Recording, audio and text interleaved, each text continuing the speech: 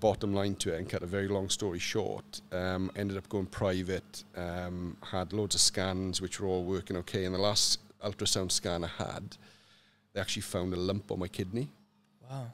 So I had to go home and I felt so guilty to tell my other half that they found a lump on my kidney when she was going through all of this as well. And like my mind was just all over the shop and I went from kind of like thinking about Ironman Wales 1145 to kind of like bloody hell I might not be here kind of like at the end of the year. It, it was like holy shit. Don't just talk it, walk it. Walk it only. Don't just talk it, walk it. I do this every week with you. It should be fine. We're in the podcast mode. just talk it, walk it. Walk it only. Tom, how you doing, brother? Living the dream. Living the dream. I like that, mate. I like that. Beautiful morning, Friday morning, uh, podcasting. I was gutted I couldn't make a run with you this morning. Yeah. I really well, wanted to. you ran yesterday with us. That's the yeah. main thing. Yeah, I found that hard yesterday. Yeah. Yeah, because I had two week, well, two weeks off essentially because I was ill last week. Mm. It's five k, and I'm finding it hard. Like, Blow in. You've done an Ironman before, haven't you? yeah, Do you know what I mean? yeah. Saying that though, there is a bit of COVID getting around. yeah. I wouldn't be you surprised if I had a bit of COVID, to be honest. I'm not. I'm not saying you got. You've had it, but it has like, like a lot of my mates recently. The tastes are gone again. The Yeah, smell. yeah, yeah, yeah. I think my, my, I, I couldn't Sleeping. smell much for a couple of days, and uh, yeah, it wouldn't surprise me if I had a bit of COVID.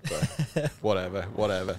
Well, mate, look, obviously, I've been working with you for some time right now and seeing your journey, which has been amazing. But I'm really intrigued about this episode today because I have the minimal education in golf. So I'm sitting here right now like a sponge listening to it. All of my mates talk about golf. We're in the season right now where golf is thriving as well, Yeah, well, as I can see it, people are turning me down to go play golf, like I just told you. But even in the mornings in the gym, people are, you know, talking about golf. And I said, I'm getting Tom on. And they're like, wow, amazing. I'm from his area growing up. I know what he's like. I said, he, he, they're like, he's rubbed shoulders with some of the biggest names in golf um, in the world, not just in the, in that local area. So for me, man, I'm very intrigued, A, the, the crux of what you do and how you've made this a business. Um, yeah. So, so I mean, like what I do right now, essentially, I'm a PGA professional. I work out of Langland Bay Golf Club in Mumbles. Brilliant, brilliant club, brilliant Yeah. place. Um, and the role really, kind of like to somebody who doesn't really know golf, is relatively complex Mm. because there's lots of different kind of like facets to it, you know. Um, but the main part of the business really is club fitting because that's my background. That's what people come to me for. Um, but in the mix is kind of, you know, we've got like a retail space, so we sell clothes, golf balls, golf shoes, do a bit of coaching. yeah. Um, I kind of uh, almost subcontract uh, or have subcontracted over the last couple of years to some um, some tours as well. Mm. So I don't know if you know about the LIV Tour. Yes. Yeah, yeah, yeah. Yeah, so it um, that started a couple of years ago and uh, it's rattled the golf Yeah, world. explain the LIV tour. Is that like kind of like a private, kind of different aspect of it took away from the original concept of golf? Yeah, so uh, essentially, like the the whole of golf really over the last however many years has revolved around the PGA Tour in America and uh, the European Tour. Mm. And two years ago, LIV came in and decided that they're going to start their own tour and they're going to start to buy some players. And it literally fractured the whole golf industry and the whole golf world, you know, because all of a sudden then you had some really high profile players not playing in certain tournaments. Wow. Um, and it, it was, uh, yeah, it was very interesting. But I got quite lucky because none of the brands, the big manufacturers, were allowed to go there because it was so controversial, and they still needed people to service the players. So, luckily for me, that there's not really a huge amount of play, um, huge amount of people about who have serviced some of the world's best players, and not affiliated to a brand yeah, and available. So it was kind of like really, really good for me over the last couple of years. I've done, I don't know, three or four events maybe. Um, so it's been, yeah, it's really good, really, really good. so for me right now, so obviously I, knowing you, see, growing up, you wanted to be a golfer. I'm assuming. No, No. no. Um, So I wanted to play number 10 for Wales. Fly off. Oh, okay. like, I- I'm not exaggerating. I didn't pick up a golf club until I was 14. Wow. And I was obsessed with rugby up until the age of 14. And um, all I wanted to do is play rugby. Um, like any spare time, I'd be down the park. Uh, you know, kicking a rugby ball over the swings, you Yeah. know, and you know, going through the routine like Neil Jenkins, you know, and Get the sand out. uh, exactly. yeah. um, and I, I didn't discover golf really until I was 14. Um, but as soon as I discovered golf, then kind of like the rugby boots started to get used less, and the golf clubs started to get used a lot More. You know, um, and because I started quite late, Yeah. I never really had any ambitions to do anything in golf, because like within, guess a year and a half, I was finishing school, I'd done my GCSEs, Yeah. um, and I still wasn't really that good at golf, so it wasn't really an option. So I actually started a, an apprenticeship, a mechanical engineering apprenticeship, when I was 16. And um, still at that point, I kind of wasn't thinking about having a career in golf. But then I got better and better and better, and I was like, I want to do this. yeah. So it's quite an interesting uh, situation, really, because my dad kind of got me the apprenticeship in the place he was working. And after like three years of a four year apprenticeship, I've gone home with this wonderful idea. And I'm like, Mum and Dad, I'm going to give up my apprenticeship that I've just spent the last three years doing. Um, and I'm going to become a professional golfer. but that went down well. Didn't go down well at all. Um, like really, really didn't go down well at all. But I'd done it anyway. Um, and it's uh, yeah, in, in a roundabout way, it's kind of working out. So Massively. Mm. Well, we can talk bits and bobs about the business now, but so how did you even get into fitting though? Fitting clubs and you know, it's not like you're the first person. Obviously, I'm not in that industry and, and play golf, but like you're the first person I know. And then when I obviously getting to know you over the over some time now, you're like, wow, there's it's, an, it's a very big art in this, and it's mm. if you are extremely good at it, you get rewarded extremely well as well, and um, you Yeah, get, you- you, get taken around the world from it.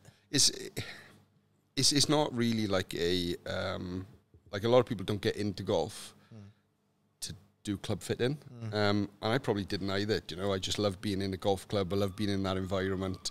Um, but as kind of like my pro- uh, career progressed, I just became a bit more passionate about equipment, and I just realised kind of how influential equipment can be to aid performance for golfers. So, like golfers, most golfers want to improve, Yeah. um, and a lot of them go for golf lessons, and they don't really pay a huge amount of equip- uh, uh, attention to their equipment. But it can have such a huge effect on what the golf ball does, and it can happen instantly. So it's not like you need to go down the driving range and work on it for weeks and months. Like I could literally take someone's set of golf clubs and, you know, make adjustments to them. And I'm not saying it, it's going to revolutionize their performance, but it's definitely going to help. You Help know, it. Um, Have you ever had uh, like obviously doing that on a lower level is good because you can communicate and there's no friction. But have you ever had that conversation with a, a pro and you like watched him on the course? You're like, listen, man, I've been watching you for some time right now, and if I just tweak a few things here, you let me give you know give me your blessing. I just want to see how this works for you, and it's well help them. Yeah, yeah, I've done that a lot. um, but it's it's quite interesting because like there, there's such a difference with working, like in the environment I'm working in now, which is with club golfers. Um, you know, they're, they're essentially playing golf for fun. Um, when you're in an environment really where you're working in the biggest events in the world and you're working with the best players in the world, I mean, you make a little tweak to their equipment and you see that in the performance straight away. But the hardest thing is actually managing that situation because there's a huge amount of money on the line, not just for the player, but for the coaches, for the caddies. Um, there's huge consequences to the recommendations and the uh, suggestions you're making. So you've got to be able to build a lot of trust. You've got to command some respect in that environment as well. And to a degree, you've got to have kind of like um, the right personality to stand there. And if you've got three people disagreeing with you, saying, I don't think this is right, you've got to be able to stand there and go, well, I know it's right. Yeah, yeah, no, yeah. Stand you know? Um, and it's uh, it's quite an interesting uh, dynamic where, like with the best players, it's easier to change the ball flight through equipment, um, but it's harder to manage their personality.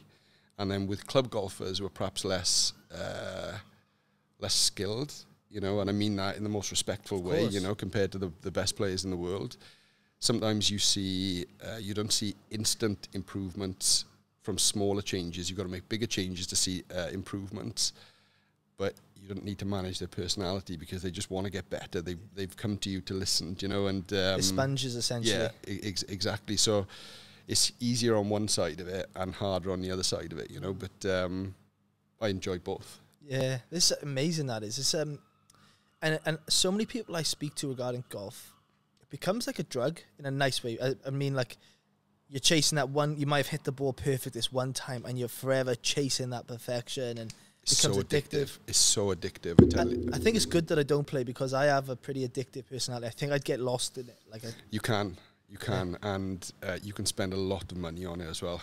it's the same as anything, Yeah. you know. Um, but it is very, very addictive, and that, that feeling of hitting a really, really good golf shot exactly the way you Yeah. want to, which doesn't happen very often for anyone, do you know, um, is uh, is something special. I absolutely, I love the noise though. I love that. Yeah. That's that nice hit or that noise.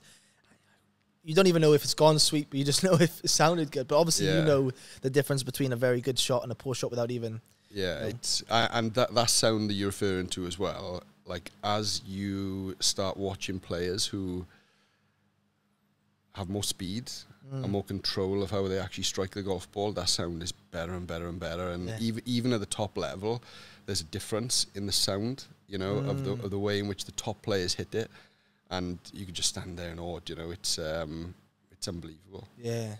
You you were talking, and, and this is me being my telling me prior to this about the Scottish golfer that you worked with. Was he Scottish? Or he won the, a comp in Scotland Oh no, that that was um, that was the Open Championship. Open Championship. Yeah, And, it you were working with him, is that right? Yeah, yeah. What was his name? Jason Day. Jason Day. Yeah. He's a bit of a legend. as a person, he is a legend. Yeah. yeah. And I mean, as a golfer, he's an even bigger legend. Wow. You know, he's got uh, uh, world number one, uh, won major championships, won lots of PGA Tour events. Um, How did you come across rubbing shoulders with or working with someone like this? so the the job I was doing, I worked on uh, the European Tour for, think it was maybe five seasons, and I was working for one of the big uh, manufacturers. And essentially, I was going to all of the events all over the world. Like I'd be in Australia one week, and then a couple of weeks later, I'd be over in the US, and li- literally, it was just crazy travel, you know. Uh, but it all become normalized, you know, when I was doing it. Um, and the bottom line to it is, any players that were contracted with this company, uh, it was our responsibility to service their needs then from an equipment standpoint. So, um, you know, when somebody like Jason Day rocks up at the Open Championship, you know, it's our duty really and our job just to make sure that all of his equipment is, um, you know, is, is up to date. There's obviously an agenda from the, the company as well to make sure that some of the, the, the equipment is the most recent equipment so that they can use that and leverage that then from a marketing perspective as well. Um, but the bottom line to it is kind of like players first Yeah. you know, and just making sure that what they need is what they've got. Yeah. And then if we can tag on kind of like some marketing, uh, like spin to it, then, you know, it was, uh, that's what we would do. How does some boy from Maesteg grow this this empire essentially? How does someone we we, spoke about this off air and and not not everyone from our town or wherever you grow up love you know we're not our biggest supporters sometimes when you do something Yeah. and it's it's hard it hurts it hurts even me when I hear things about myself or other people who are having a go and there's always someone trying to yank on your chain essentially Mm. but- there's such a niche market to what you're doing and someone from where you're from to do it you know you're always gonna have people say oh well he only did it because of X Y and Z or this that and the other but it's that's not the case with you at all Um, no. I mean, I, I, I'm quite a determined, stubborn person, and when I put my mind to doing something, I'm not saying that happens all the time, but a lot of the time I find a way to get it done. Yeah. Um, and what a lot of people don't know is this job I had with TaylorMade, which essentially has given me a really good platform to do what I'm doing now. Um, I applied for that two years before I got it and didn't get the job. wow So um, you applied for it two years I applied for it two years before I got the job, and I didn't get it the first year, first time round. So I, f- I failed on the first attempt essentially, and you know it would have been so easy at that point for me to because I was actually working in Maesteg Golf Club at the time when I applied for this job, I didn't think I'd get it to be honest with you. Um, but I got to like the last two people out of 290 applicants, and I was thinking like what you were just saying here. I'm like bloody hell, you know. Last week I'm fitting, you know, one of the golfers up at Maesteg golf club, and now I'm standing here with some of the world's best golfers, nearly getting a job, traveling the world, you know, and um, rubbing shoulders with literally the greats of golf, you know. Um, and I didn't get the job, so that I had a choice then. Go back to Maesteg and um, which is a place I love, you know, and I still love going up there now. A lot of my friends are there, um, and I've got huge respect for that place in general because that also has contributed towards, um, you know, me doing what I'm doing. Or you find a way to get the job that you want. So it was quite interesting doing that interview. It was a three-day interview in Spain, and Wow. uh, that interview that I had, I walked up to this guy who was on the range, and um, for any golfers out there, they'll probably know uh, what a TrackMan is, but it's essentially a radar system which tracks golf balls and tracks the golf club, and it gives you literally all of the data that you need from a golf shot. And at the time, I think this was 2000 and, I want to say 2011. It was really early for this technology, and um, it only just come about, and not a lot of people knew about it. And I'd been researching this kind of like almost to the point of where I was obsessed with it. so I seen this guy on the range, and I thought, right, I'm going to go over and ask him a lot because there wasn't a huge amount of trackmans on the range. And I started quizzing this guy, and I wouldn't say that I was Billy Big Bollocks, but um, you know, I thought I knew a few things about it, and I started asking this guy some questions, and he was like, he was giving me these answers. He didn't even understand the words he was saying, you know, like, and I was like, wow, um, like, who who are you? He's like, oh, I'm the inventor of TrackMan. Um, Wow. and bottom line to it is they actually offered me a job on the spot during the interview. And I, I had to kind of like find a way of saying, oh, I really appreciate that. I can't really give you an answer now because I'm in an interview really for the Yeah. job I actually want. And when I found out that I didn't get the job that I wanted then, I got in touch with these guys and I just knew that that was a step in the right direction to start building relationships with the right people um, and put myself in a position where I'm constantly seen. So it was really interesting where I went from kind of like failing the original job interview, and I see that as a failure for myself, to actually then taking this other job, and I was actually training then the people who were in the team that I applied to be in with. Wow.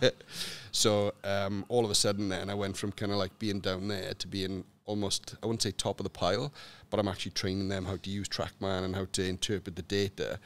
And where I went full circle is one of the guys on the TaylorMade team sent me an email right on a Friday night, and I remember this vividly because um, it was essentially the email that got me the job. He Sent me this email asking me a question, and I was living in Cardiff at the time, and I was about to go out. It was like up at seven, eight o'clock, and I was I, I was in two minds. Do I actually just send a quick email reply now on my phone, or do I sit down and actually write a proper email about this? And there was no kind of like uh, intentions for me to try and impress anyone. It was just, do I actually reply to the email properly, or do I give half half an answer? And me being me, I'm like, right, I'm going to put the phone away and I'm going to get the laptop out and I'm just going to do it properly. And that email, that reply circulated internally um, in TaylorMade and they offered me a job on the back of that email reply. wow. So like it was, it was quite, I was quite lucky in a way. Um, but yeah, that's that's how it all came about. Um, That's amazing. yeah, uh, yeah, I was, yeah, l- lucky and kind of like, um, I I kind of made it happen as well. Mm. You know, um, there was some strategy and intention to it. You know, I think you're Um, really good with you're really good with people. Like one of your biggest skills is people and communicating and building relationships, and that's why you're so good at what you do now. But I think people always think how to get opportunities is X, Y, and Z. But you can just prove right now, just showing curiosity in something. Really, Mm. like you know, just Mm. speaking to someone about this, this you know, this new craze that's just happened. yeah. Opportunities opened up, Mm. and then another opportunities opened up. Yeah, and like I could have quite easily walked past that guy, and I think if I'd walked past that guy and not asked that question, I mean that is the that was the the, the start of a chain of um, events, you know, which led to me getting that job with with TaylorMade. And Wow. um, Where did you move? Did you have to move then? initially, I did. I moved to Basingstoke, uh, so I moved from Cardiff to Basingstoke, but I was travelling so much. Yeah. Um, like I'm not exaggerating. I was doing probably 80 plus flights a year. Um, I was ne- I was never there. I moved, but I was never there, and I was always coming back on the weekends when I was off anyway. Do you know? Um, so in the end, I actually ended up commuting from Cardiff. Um, so I'd drive to Heathrow for a seven o'clock flight on a Monday morning. We'd fly back in then Wednesday evening. Uh, I'd probably crash somewhere in Basingstoke Thursday night, and I'd drive back then uh, Thursday, uh, well, Wednesday night. Uh, drive back Thursday night, and um, yeah, just work from home on a Friday. Um, How many years were you doing that for? about I think four or five years. Some commitment to flying. You've done some travel, mate. Yeah, it's it's pretty crazy to be honest, Mm. and and but it becomes normalized. Yeah, you get used to it. Do you know? And like I, I always talk about this it is like, and it seemed really normal at the time. Is that I was in where was I? I was in the US for an event, and I flew back from the US, uh, and essentially when I got back from no, I tell you what, it was China. It wasn't the US. I went from China back to the UK. The next day, I went on holidays to Cuba. I had 10 days in Cuba, which is brilliant. And then when I flew back from Cuba, I literally, I didn't even have time to pick up my luggage. All the family that we were with picked up the luggage because I just got off the plane and just went straight to the car. Jumped in the car, Manchester Airport, back to Llanelli, which is where I was living at the time. Uh, repacked another bag and drove straight to Cardiff Airport and flew to Australia. So like, Wow. y- y- and that was all like normal. You know, Just got used to I it. was just like, yeah, that's fine. I'll make that flight. That's no problem. Um, I'll have a sleep on the plane. It's no issue whatsoever. You know. But now thinking of it, I would never do that in a million years. it's mad though, like how like you. It's it's funny, like you just said though. You're doing those things, and in the moment you're just going with it, in it, and then you Mm. reflect on. You go, how the how did I manage to do Yeah. that for so many years? And but it's obviously paid off. well, it's. Um, I mean, the, the experience that I got, not just from a career perspective, but from a life perspective as well. Do you know, like seeing all of these places. Um, you know, it's just crazy to think that, like, I've literally probably travelled the world, you know, a couple of times and seen things which I never would have seen outside of doing this job. So I'm so grateful that I actually got that job. Do you find it? Do you ha- find it hard to say it was a job? It was definitely a job. After the first year, it was definitely a job because, like, the fir- the first year is nice because you go into new places all the time. Yeah, But then afterwards, then you go into the same places year in year out. yeah. There'd be a couple of new events would pop up, but typically it's the same hotels, it's the same golf courses, you know, um, and it does get relatively monotonous. yeah. But um, How do you deal with golfers then? Because I could tell, obviously, the higher they are, the profiles. How do you deal with their personalities? Because you've got from the outside in, you see some of them. Some of them seem like a couple of larrikins, mm, and then you've got the other ones like you know the the Tiger Woods, where they're like probably OCD on perfectionists, you know. And how do you deal with these type of people? it's the same as what, like how you would deal with most people, really. Yeah. I mean, you know, you can't just have kind of like one way of dealing with everyone. Um, you've got to adapt kind of like to, to that person, you know. So if you turn up with a player and, you know, they start taking the piss out of you, Mm. you start taking the piss back. Yeah, give it you back to them, yeah. ab- absolutely. But if if you rock up then with somebody who means business and all they want to do is talk about numbers and talk about performance and talk about, you know, their ball flight and their equipment and what they can do to improve their equipment for that week, Yeah. that's what you do. Yeah, do you know. Um, but the bottom line to it is you've just got to be in a position where you they trust you. Yeah, You know, if they don't trust you, you you, you ain't even you're not even at the party. Yeah, you know? yeah. Um, and yeah, I didn't I didn't find that too difficult to be honest. yeah. Good man, but it's, it's good. That I think that's just your personality type. Is in being, and that's why people are. I think successful people are suc successful because they can be flexible to other Mm. people's personalities. It's not they're not rigid. You know, they no, no, no. they bend. So I think yeah, touching on the personalities, and that's obviously how it's accommodated to yourself. And then you start in the business Yeah, down the Langlands. Was that where it originally started? no. And where did the name come from? Was it just that's what you've always wanted, or So I got made redundant from TaylorMade, uh, and this was the end of 2017, and um, freaking hurt. That did. I bet. That really hurt because I was kind of like I was. I, I felt like I had some unfinished business as well there. Um, like I still had goals that I wanted to achieve, kind of like you know through that through that job. Um, and I was actually in quite a bad place to be honest with you. It really like hit me quite hard, and I've never been one who's kind of like even appreciated, kind of like, or even I, I couldn't even understand how somebody could be depressed. You know, um, but I was definitely in that state, you know, after I got made redundant because I'd went, I'd gone from literally on the Wednesday being in the Open Championship, working with you know past Open champions and the best players in the world, to Thursday morning, getting called into a meeting at nine o'clock and five past nine and walking out the door without a job. Wow. Um, She had no idea it was coming, or no, I knew there was changes happening because there was big changes within the industry. Um, but yeah, I didn't really, I didn't really expect it, and I actually drove straight from there to a wedding because I, I knew I was going to the wedding anyway, but I had to go to a wedding then and kind of like tell everyone I, I'm unemployed. yeah, yeah. so the business actually started from that point. Um, and I was like, look, I've got I've got this experience, um, I've got a skill set, and um, you know I really need to put that to use now. And the business name, to answer your question, I didn't really think too too hard about it. It was just like what sounds half decent. Um, Torfit Golf. Let's go with it. Yeah, I like it. Yeah. I like it. Um, I, I, I think retrospectively, I would probably have thought about it a little bit longer and put a bit more effort into it. But who cares? Well, we are we are where we are.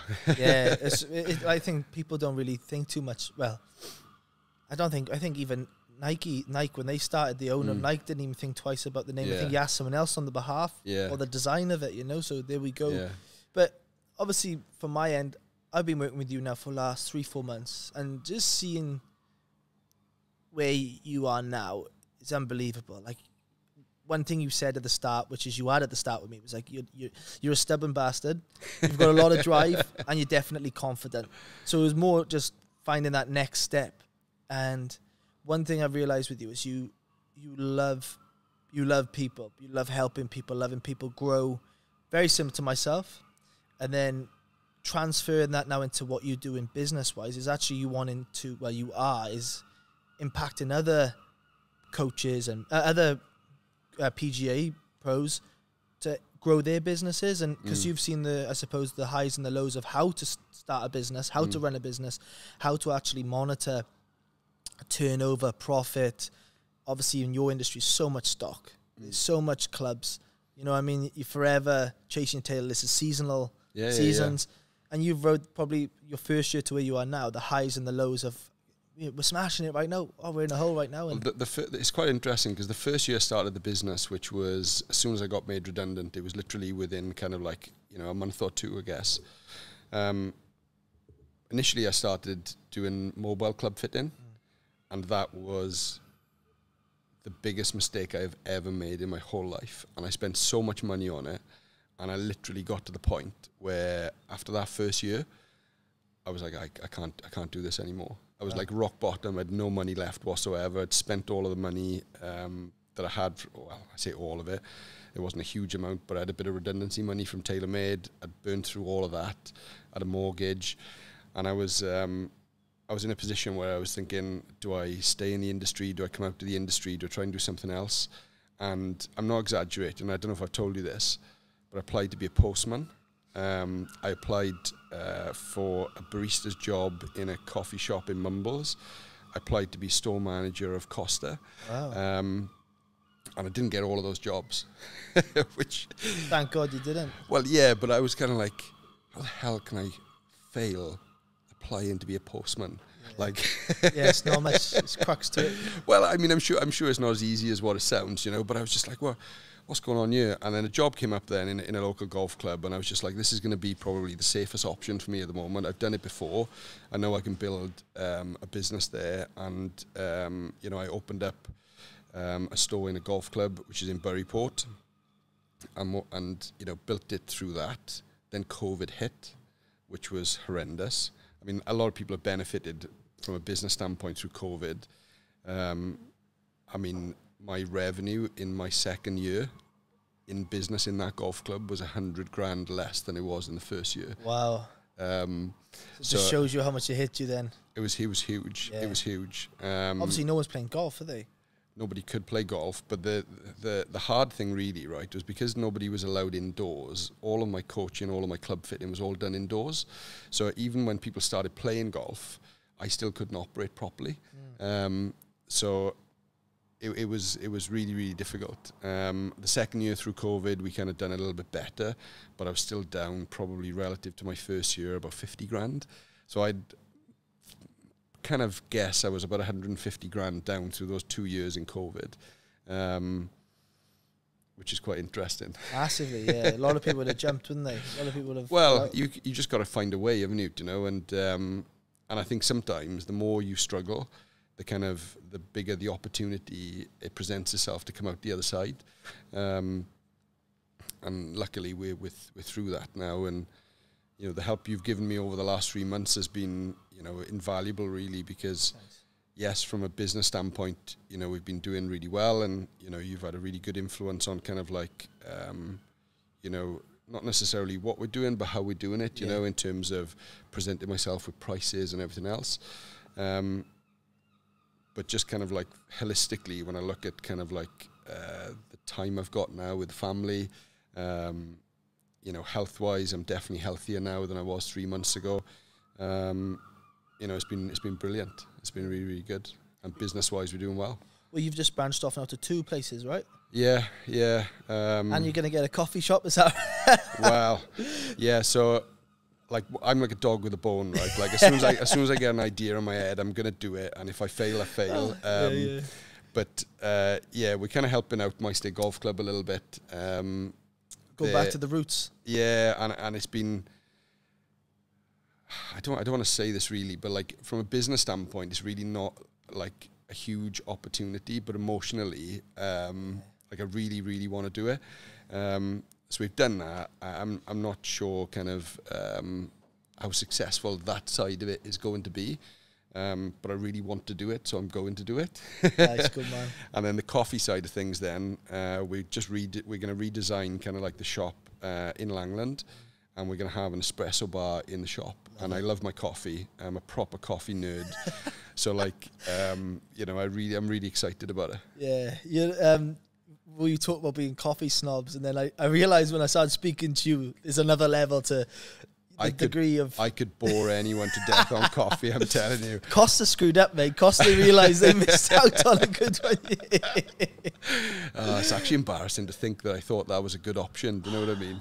Mate, what a what an amazing thing that. And thank God that didn't happen. And Mm. you know, just seeing the way you are now, uh, and just seeing how much you grow. Like I think we spoke about on the other day. How you've, I think it was something like from this time last year, it was like a thirty-five percent increase in margin or revenue. Is that around that ballpark? Yeah, we're uh, like year to date, we're thirty, just under thirty six percent up.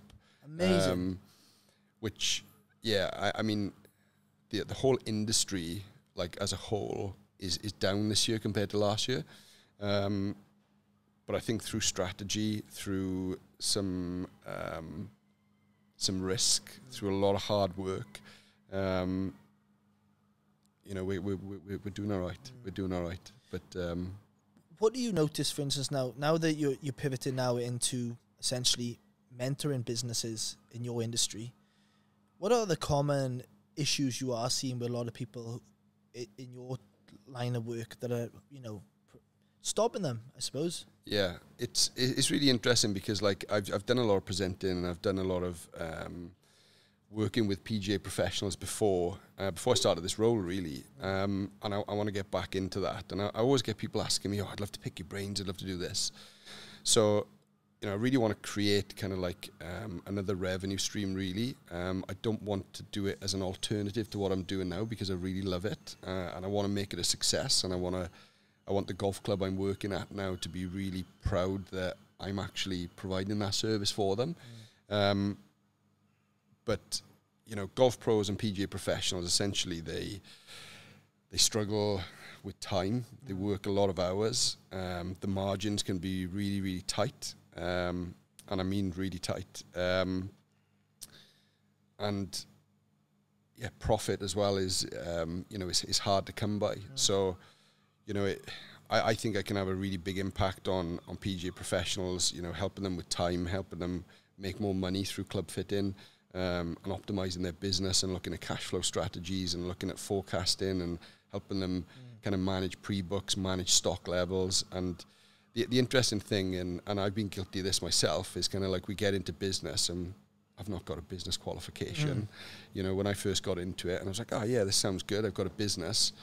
What's cash flow? Do you know what's forecasting? Um, you know, what, how much stock should I have? Is that good? Is it bad? What's my stock turn? How often should I be turning that over? You know, and that's something I'm quite passionate about. And You're very ana- analytic, aren't you? Like very much like stats, figures, graphs. Yeah, I mean, I mean, there's not. It's not very often now that I don't know how much stock I've got, um, what categories are struggling, um, where I need to put offers on, where we are from, um, you know, profit and loss perspective, um, where we are looking at kind of like year-to-date revenue numbers. I mean, the spreadsheets I've got. I mean, for a lot of people who are into spreadsheets, they probably won't look like much, um, but I'm pretty impressed with them. Do you know? Um, I and, am, and, I, and I. I, I, I, I enjoy, you know, analysing it. Yeah, man. for me, it's you know, I I love the thing with love working with clients because you learn so much. As I learn so Mm. much as well. Like, I learn off you, what's helped you grow, what's not, and then even like speaking on behalf now of creating time for you, right? Your team are thriving in a different way. Like Yeah. you've upskilled your team so much that it's given you this freedom again. Mm. I want to ask you. This is a bit off the question, but I want to ask you regarding golf fitting. Now, it's you're within millimeters right now, aren't you within mil of getting it right or wrong. Is that right? Um, yeah, small margins. Small so like, margins. yeah, you're talking about, um, you know, if we're making adjustments with golf clubs, when we're building, as an example, I'm building a club within a sixteenth of an inch. Um, you know, we're measuring the degrees on the club. You know, if if anything, like I always think, if it's not perfect, it's not right. Um, which, in some regards, is not a good thing because it takes me a lot longer to build clubs. I was going to say, Um, you, if you were doing your apprenticeship, mate, they'd if you were going through clubs as your apprentice, just carve it into clubs. Yeah, But but this is the thing, right? Is like I, I know you're not referring to the apprenticeship I done. No. My apprenticeship that I done, God, well, I didn't even do it. I kind of done you know three quarters of it. Doing an engineering apprenticeship has served me so well. Doing what I'm doing now, and I think this is, is part of the reason why I've become okay at it. You know, because you're working with when you're building or machining parts for aeroplanes, the tolerances are like ridiculous. You know, like really, really tight, and the margins they're working with in the golf industry, in general, are not tight. yeah, yeah, true. You know, um, so for me, then I'm just like, well, you know, if it needs to be, f- the driver needs to be 45 inches, it's going to be 45 inches. Bang on. Yeah, Yeah, nothing else or nothing yeah. more. It's it's small, it's small margins. What would a what would a set of clubs? I know this is a hard one because there's so many price points. But what is? I bet when you started playing golf to what they are now, Hmm. but the price of a set of c- clubs is Yeah, so the, perce- the the perception of a price, uh, the set of clubs is like golf is really expensive. It's the same as anything, do you know. Like if you want to get into running, do you know, like you buy a Garmin watch, pair of Nike trainers, do you know, some you know some kit. You know, you can burn through six, seven, eight hundred quid, kind of. Well, even probably more than that. I mean, some of the watches are seven hundred quid now, aren't they? this Garmin was yeah, there was seven hundred quid. This Yeah, Garmin was yeah. Um, but also, you could do it to go down to Sports Direct and, and get a pair of trainers for 15 quid and start, do you know? Yeah, and it's the same in golf is, you know, for a couple of hundred quid, you can get a starter set. You can go to a golf course and you can pay 10 quid to go and play a round of golf. Um, but at the same time as well, like I get clients who, who come in and, you know, they spend three and a half grand on a set of clubs um, and they want a duplicate set for their house in Spain you know. yeah. Um, so that there's there's a lot of money that you can spend on golf clubs, and, and three and a half grand for a set is for a good set is is about average. You can go up quite a lot more than that. Um, but yeah, it can be expensive. Yeah. What What are your th- your top three experiences, best experiences? What this business has given you? Um, the business now. Yeah. It's a good question. Um, I mean, if if we're talking about kind of um, clients, um, we've had a lot of success where we've kind of like fitted someone for a set of clubs. Like we had a we had a guy this year. Um, you know, we fitted him for a new driver, a new three wood, a new set of irons. Um, pretty much el- 11, 10 or 11 clubs out of 14, you know, and he goes and wins one of the big tournaments in Wales, an amateur competition. But that's a really kind of like good feeling where, you know, you're not responsible for it, but you've contributed towards it. Um, but I think kind of like from an experience perspective, the thing that I'm probably proud of the most is that it's all come from struggle. Mm. Do you know, like, it's, n- it, it, it started like from from struggle. I mean, I even remember the first job I had up in Maesteg golf club um, when I was head pro. So it's the same job as what I'm doing now, just up in Maesteg, and this was kind of like 12 years ago. I remember wanting the job and needing the job. I got the job, and then I was like, right, I need to stock the shop because zero money. Like, what do I do? Yeah, yeah. zero money, like literally, and uh, you know I need to put however many thousand pounds worth Shit. of stock in the shop. So um, I thought, right, okay, I can do some junior coaching, yeah. So went home, printed off a load of posters, got the database from Maesteg golf club of all the juniors, hand delivered all of these uh, flyers to all of the juniors in Maesteg because I couldn't afford to buy stamps. I like it. um, and you know, we got 200 quid in for a day's worth of coaching or whatever. I went out and bought some stock, um, sold all of that, then bought some more, sold all of that, and then bought some more, and just kind of like built it up from there, really. Do you know? So it was literally, you know, both situations where you know I've been up in Maesteg, um, built, started to build a business there. That started from nothing, Class. and the business I've got now, you know, even going back to 2018, I was like rock bottom. Yeah. it was hard. Yeah, that, uh, we didn't touch on it too much, but obviously that that's hitting a rut like that, man, is quite hard to get out of. Mm. Um, Well, the, the, the, the rut that I was in when I contacted you was a little bit from a business standpoint, Yeah. but it was a lot of it came from like personal situations. Um, I don't know whether you want me to go into this or not, Sure, but sure. um, but but like in in 2022, I was training for Ironman Wales. And I was going good, and you know I had this ambition of kind of like going sub 11:45 in Ironman Wales, and I was like I was on for it, you know I was that's swimming, going. I was swimming well, I was biking well, I was running well. Um, I'd done a marathon in the end of 2021, I think, and it, I can't remember what it was. It was like I'd done a 320 something marathon. I was like, for Good me, it was pr- pretty Yeah. good.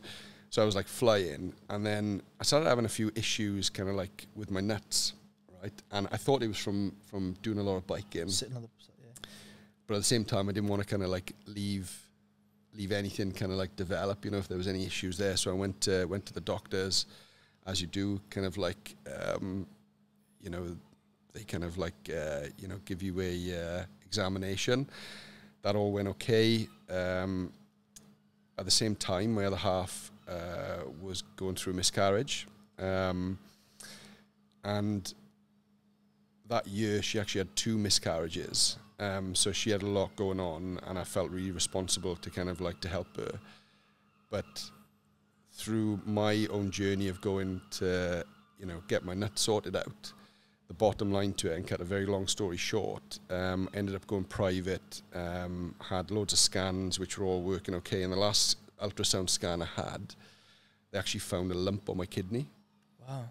So I had to go home, and I felt so guilty to tell my other half that they found a lump on my kidney when she was going through all of this as well. And like my mind was just all over the shop, and I went from kind of like thinking about Ironman Wales 11:45 to kind of like bloody hell, I might not be here, kind of like at the end of the year, because your mind just does all it plays all Yeah, sorts yeah. of tricks on you, doesn't it? Um, and yeah, through that, really, my perspective kind of like changed on training. I like a safe kind of like place for me is to work, um, and I just started working harder and harder and harder and harder. Um, and yeah, I mean, it, it all ended up kind of okay. So the Um, lump, what was the lump essentially in the end then? So essentially, the con- the consultant said to me when I went in um, after he'd done the ultrasound, he said, "Right, I think there's two options here. Um, you've got, I think it was an uh, an adenoma. I'm probably gonna like butcher the name of it, um, but some sort of like um, lump which uh, sits like on your adrenal glands, which will need uh, an operation to remove it because it can have a really big effect on your hormones. Yeah. And the other option was kidney cancer. Um, and and it, it was like, holy shit. like, no wonder your perspective fully changed. Yeah, and it was it was quite like stressful. So that that I think was kind of like towards the middle of 2022, and I went for a CT scan then, um, and the consultant phoned me, and he said, right, okay, I've got the results. Um, can you come back for a consultation? And this was like uh, I think in November. He said, I've got a slot for you on the 24th of December. I'm like, you can fuck Exactly. I don't care where I've got to go. I don't care how many planes I've got to get on. I want to see someone and I want to get these results before the 24th of, That's no- crazy. of December. Um, so I managed to get in and I was sitting in the waiting room. Um, and because it was like urology, you're sitting there with, um, you know, older gentlemen who are going in to probably get like the results of kind of, you know, any scans they've had on prostate and everything. I'm sitting there and I'm just like, you know, guys are walking out in floods of tears and I'm just thinking, oh my God, here, here we go. And I've walked in and um, he started talking to me and I'm like, forget this. I, I, don't want to know like how you are and I don't want you to know how I am. Just get to the Get point. the small talk. Yeah, let's get straight to it. And he's like, oh, no, it's all fine. Um, the, the lump is not um, cancer and it's not an adenoma. It was, um, uh, what did he say? I can't even remember what he said, but as soon as soon as, soon as he said it wasn't those two Whatever. things, yeah, ex- exactly. But like through that process, I actually felt like I prepared myself to for me to have like kidney cancer, Yeah. and I almost felt like I I'd been not been through it because I clearly haven't, but psychologically, For sure. and you know, I'd be sitting there with my daughter, just thinking, she's not going to remember me. Yeah. Do you know? Um, and it might sound really dramatic, No, but you, though, but you, isn't c- it? you, you can't kind of like you can't help to get away from that. You know, when somebody says you might have cancer, Yeah. Worst case like scenario, what, Um, what's going to happen? so that kind of started like a big rut for me, really, where I kind of like I sacked off all of the training, um, and yeah, just started working and working and working and working, and um, yeah, I just got myself into a situation where I'd put on a lot of a lot of weight, you know, um, working way too much, um, you know, not seeing my family, doing all right business wise, you know, but also not having a huge amount of energy in the business. And this is wh- why I reached out to you, you know, because I was in that rut. I kind of knew what to do, but I just needed somebody to point me in the right direction Mm. and shove me like down that road quite hard, you know. yeah, perfect, man. Well, thank God, man, that those results weren't worst Yeah. case. But man, it, it's funny, right? What you just said then just sparked something in me. As in, people need these wake up calls to Mm. really implement what they should be doing. You know, like maybe if you didn't have that experience, maybe you would have just still been, I don't know, going down another path. But we have like these moments of our body or something Mm. goes, "Hey, come on, Tom." yeah, let's sort this shit out. Let's get Yeah. get the wheels turning. Let's not just put our head straight into work and ignore the rest of life, you know. And thank God, man, for these things. And but like credit to you, like the way you live your life now is you got balance. yeah. on no, I've got Training. ma- massively balanced and, and kind of that is something that I'm really, really not good at either. like I'm the world's worst at balance. I'm like all or nothing. I'm training for an Ironman or I'm sitting on the couch, you know, eating pizza. Like there's no in between. Do you know what I mean?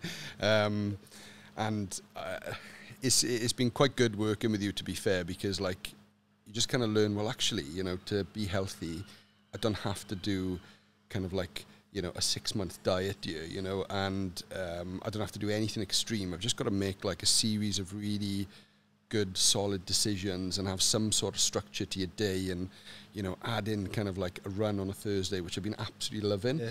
well I wouldn't say the run I've been loving The coffee after, though. the coffee after and the chat afterwards Yeah, you know it's quality, like yeah it's, it's, it's, it's good and you know Thursday morning after I get home kind of like I've definitely got the most energy out of the whole week starting work Mm. um, and you know it's a 30 minute run and it's a coffee and it's Yeah. a chat afterwards it's great it's, really, It's it's really, been really really good Yeah, I appreciate it, man. It's uh, credit to you, obviously, but yeah, the, the run, the running on Thursday is amazing, and it's just all walks of life, different people there, as in like you know, different professions, different paths, and you wouldn't even ru- talk to these people if you didn't do these No. things because you'd just be another person walking down the street or yeah someone you exactly know.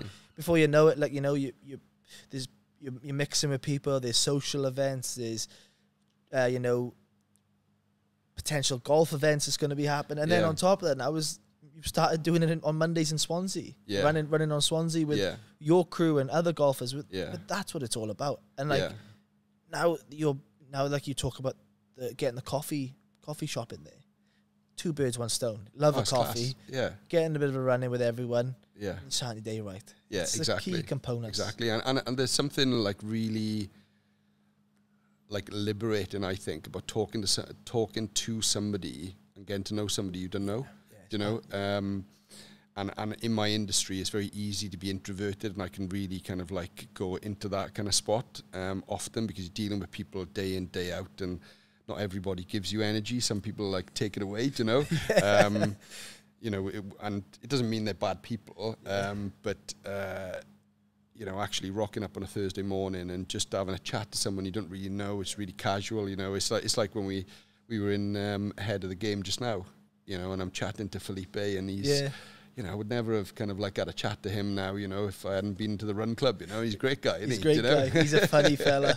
He said, like, funny you talk about people who are not giving you energy sometimes. There was this, uh, we had training last night and one of the boys was whinging and, and one of the boys goes, what did he say? He said something like, come on, mate, don't be stealing from my bucket now. Don't be taking out of my bucket. so true. I was pissing myself when he said it because it was so, so true. Because Yeah. this guy was just whinging over nothing. Yeah, And then he goes, come on, mate, don't be taking out of my bucket now. yeah. Like, fuck, that's true. Yeah, if you if you, I think if you can have more people in your day who are filling your bucket rather than emptying it, you, Yeah. you'll have a good day. Mm, it's so true, though, isn't Yeah. it? So true. Uh, and the, like you just said then, though, about you know having people in your day who bring your level energy up. It really doesn't take much, though.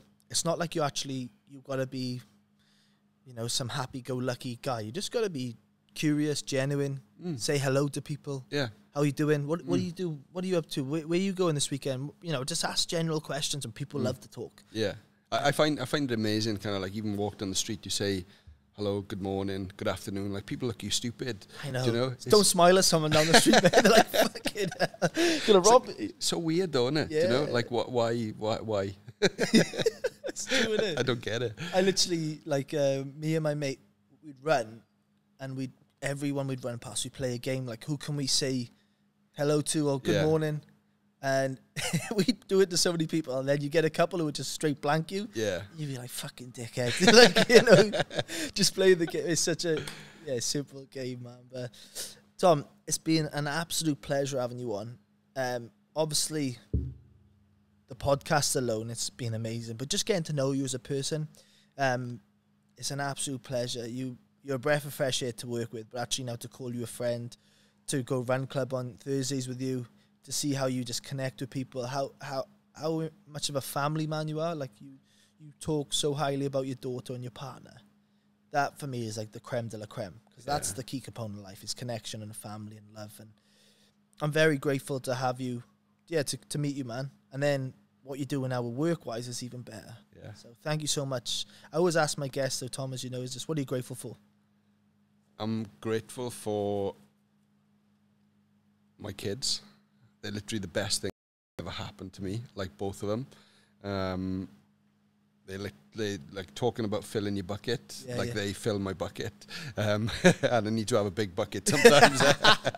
um, but my other half, Ember, as well. I mean, she's a legend. She's probably the most selfless person that I've ever met. You know, and um, I'm just really grateful to have her in my life. Um, and yeah, that that's that's life for me, just right there. Do you yeah. know? Love that, man. Thank you so much. No, thank you. Don't just talk it, walk it.